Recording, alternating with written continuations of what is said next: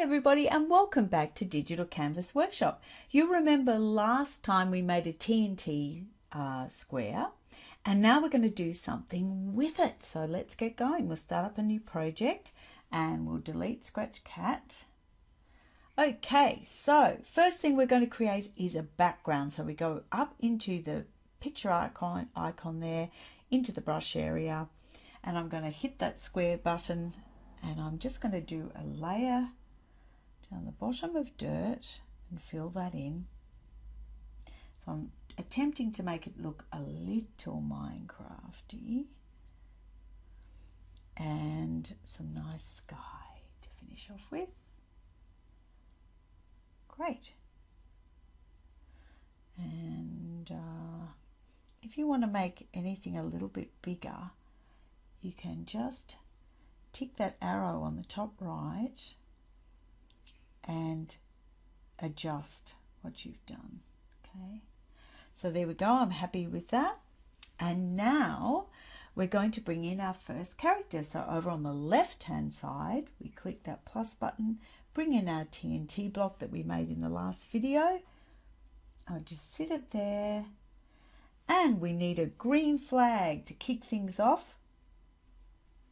And then we're going to have a little message come up that tells the person that's playing our project what to do. So we're going to say, tap me. So there's a clear instruction. Let's test that. Great. Okay.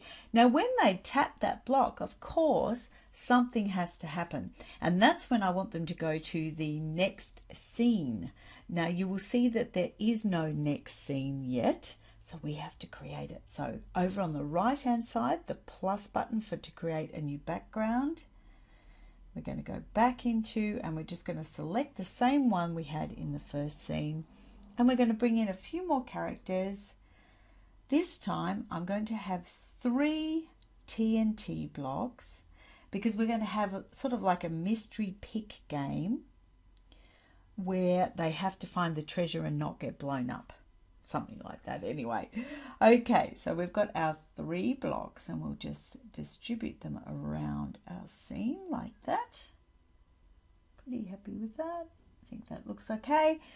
Now, when they tap on that first scene, we can now have something happen, which is when the block is tapped, go to scene two, because now we have a scene two, so it's there for us to select.